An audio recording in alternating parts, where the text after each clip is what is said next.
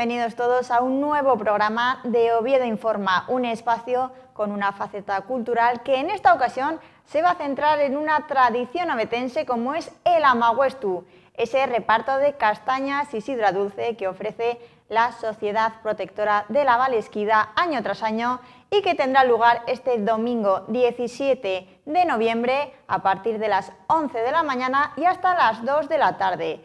La ubicación, la Corrada del Obispo, no la Plaza Porlier como es habitual debido a las obras en esta área.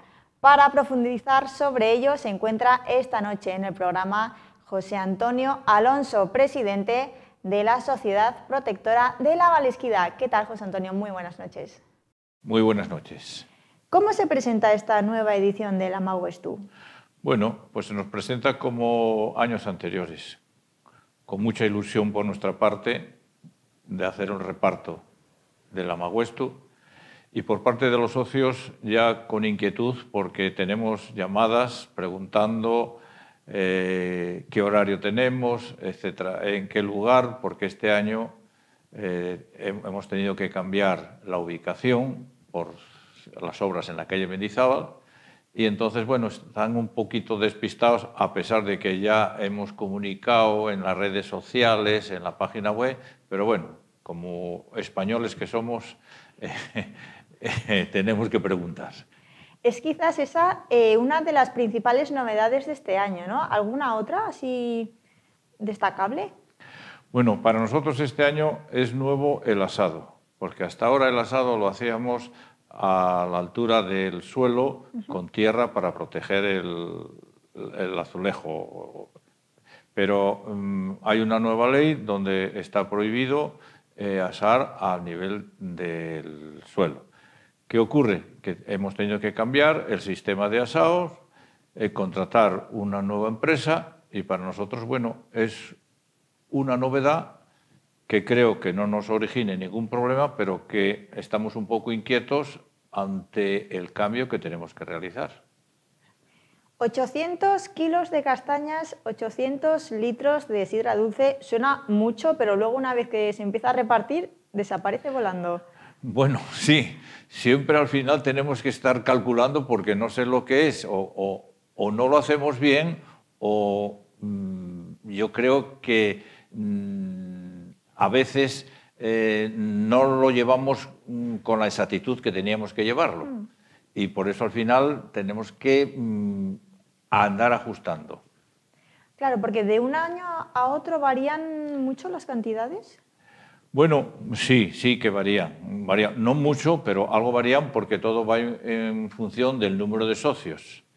Mm, tenemos la suerte que después del COVID, en el cual tuvimos una bajada como consecuencia de, funciones que tuvimos dentro de los socios bastante importante, estamos recuperando de nuevo. Entonces esto nos lleva a tener que modificar las cantidades. Eh, algún espectador se podría estar preguntando, ¿este reparto es solo para socios o también para gente externa?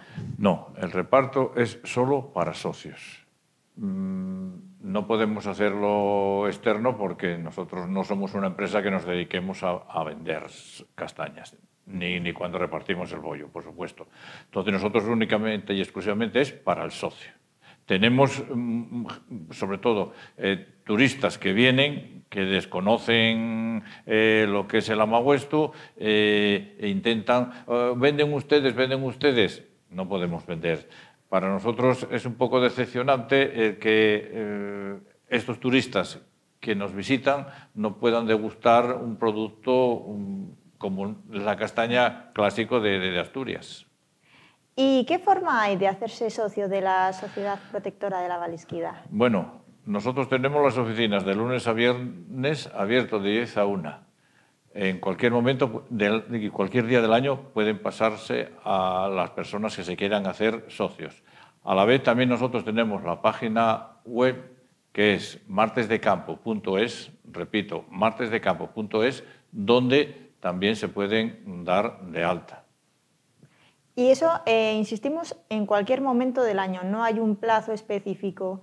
No, nosotros no tenemos ningún plazo. En cualquier momento del año quitando lo que es el periodo vacacional, en agosto, en julio y agosto, en el resto del año, mm, vuelvo a repetir, de lunes a viernes, de 10 a 1.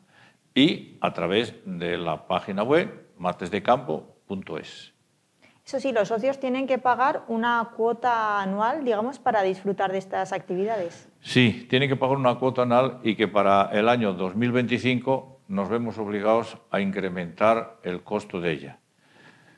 Eh, hasta ahora teníamos 12 euros anuales, pasamos a 15 euros anuales. ¿Por qué este incremento? Pues muy fácil. El incremento es como consecuencia de que todo ha tenido un, coste superior a lo que veníamos eh, teniendo eh, años anteriores, tanto en la logística como en las materias primas para el bollo, para las castañas, eh, el incremento de costo de, la sidra, todo se ha incrementado. Lo mismo que todos los gastos que nos origina el organizar todas las fiestas. No solamente es eso, sino que mm, nosotros eh, lo que estamos es mm, luchando siempre por mantener la tradición de estas fiestas que es el orgullo de, la ciudad. ¿eh? Mm, dices 15 euros. 15 euros, si lo dividimos entre 12 meses que tiene el año, es 1,25 euros al mes. Si analizamos este detalle, vemos que es una, una, cantidad ínfima. Sí. Y, a la vez mm, quiero recalcar que no es que mm, la sociedad eh, exista para que se coma un bollo o se coma unas castañas, no. La Sociedad Protectora de la Valesquida eh, nació en el año 1930 como consecuencia de que en el 29 no se iban a celebrar las fiestas porque no estaba la cofradía en una situación precaria nace esa sociedad. ¿Y por qué nace esa sociedad? ¿Y con qué fin nace? Pues nace con el fin de que no se pierda la tradición de la ciudad con las fiestas de martes de campo. Recalco esto porque hay quien dice, hombre, por un bollo, hombre, por castañas. No, la Sociedad Cultural de Esquida no está basada en un bollo y en unas castañas, está en mantener una tradición y que esa tradición se vaya cumpliendo año tras año y cada vez vayamos incrementando el número de ciudadanos o de socios. Para nosotros es importante y la vida de la sociedad está basada en el número de socios repito, como dije antes, el COVID nos había traído bajas, bastantes, pero mm, a partir mm, de estos últimos, de una vez pasado el COVID, estamos incrementando los socios y con una satisfacción por nuestra parte porque eh, tenemos gente joven dándose de altas. Ya lo vengo diciendo desde el año pasado. Matrimonios jóvenes, dándose de alta con los hijos entonces, ese es el futuro que tenemos nosotros. Mencionaba que eh, había turistas que se acercaban para mm, saber un poco en qué consistía este, este, evento. Eh, precisamente por el aumento de turismo, eh, ¿están notando que la repercusión o que se esté extendiendo un poco la, la importancia de esta tradición? Bueno, con respecto al turismo es un mínimo, mínimo, pero hay turistas que se dan de alta y después, como mm, nosotros ahora llevamos tres años ya mm, domiciliando los recibos, eh, desde su lugar donde residen normalmente nos hacen eh, la, transferencia. Eh, entonces es un mínimo, no vamos a decir que no, no, no, es un mínimo de turistas que sí. Entonces tenemos incluso mm, socios residentes en Nueva York. Caray, qué nivel. Eh, ¿qué, balance hace de, de, este 2024 la Sociedad Protectora de la Valesquida? Bueno, el, balance del año 2024 mm, es un balance en cuanto a número de socios y de altas positivos, porque en este año hemos, hasta el día de hoy, tenemos 239 socios, 240, vamos a decir en números redondos. Y, y de bajas tenemos 40, también en números redondos. Entonces, bueno, eh, indudablemente eh, el incremento es muy positivo, pero mm, repito y recalco, es muy positivo aparte de que el número ha crecido, que las altas es de edades jóvenes, que nosotros hasta, hasta el COVID pues teníamos un alto por ciento muy elevado de gente mayor, ahora no. Y también la lucha que estamos manteniendo estos últimos años está dando a conocerse lo que es realmente la sociedad protectora de la Valesquida.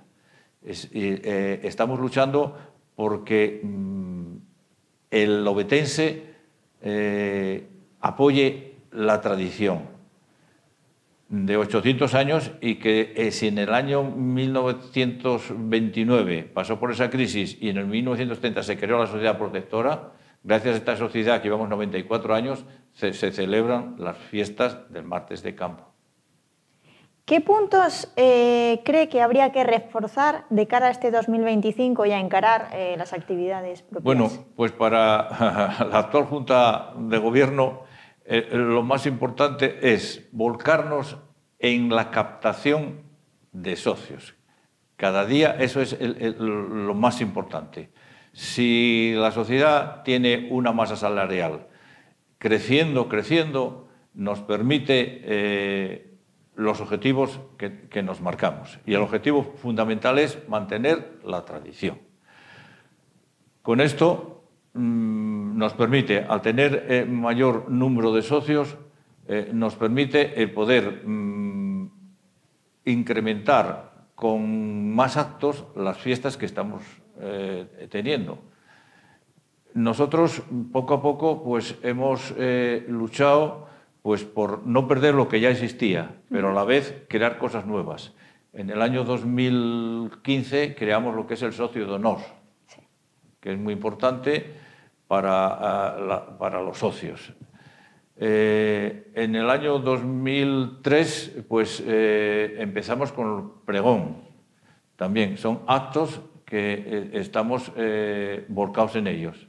Y que, gracias, vuelvo a repetir, a la masa salarial, a la ayuda de las instituciones que nos apoyan, fundamentalmente el ayuntamiento, que mm, siempre nos está dando fuerzas y apoyo para que luchemos mm, por esta sociedad, como también todos aquellos colaboradores que también eh, eh, están con nosotros eh, durante muchos años. Nosotros tenemos colaboradores desde el primer día de que se creó la sociedad. Y mm, pues ya que estoy eh, dando agradecimientos, no me puedo olvidar de mis compañeros de Junta, que gracias a ellos, bueno, pues estoy aquí y, la sociedad está luchando por esa tradición.